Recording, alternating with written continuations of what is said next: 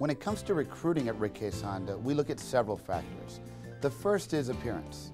If you don't look the part, if you don't dress the part, you're probably not going to be the part. You know, don't try to sell yourself on something that someone's not just because you need somebody. You're only making a mistake that's going to cost you a lot more in the end.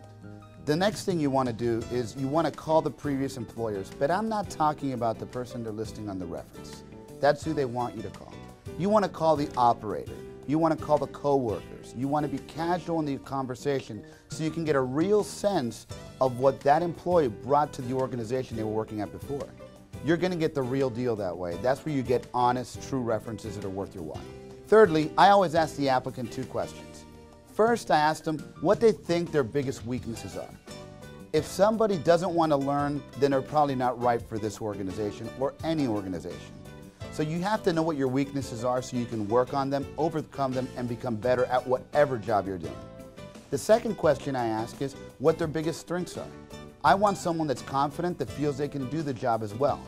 Confidence and arrogance is a thin line, so you definitely want to delve deeper into these questions to try to get the information you need so you can make a good decision. There's one final thing you don't want to forget. You know, Mr. Case always says that if you don't have your spousal support, you don't have any support. You want to reduce turnover, you want to hire right, you call your applicant's husband or wife whenever they're there with the applicant there. And the conversation should go something like this. Mr. and Mrs. You know, Mrs. Jones, I'm so excited here. I'm talking to your husband. I think he's going to be a great fit to the team. Are you okay with this? How do you feel about Rick Case and your husband joining our family and being part of our organization? If you really want to reduce your turnover, get total support from the total family. That's the way you build a team. That's the way you build a winning team.